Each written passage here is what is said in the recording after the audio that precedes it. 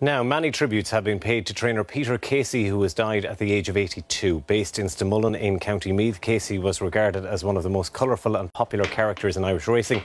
He is most associated with Flemenstar, a three time Grade 1 winner.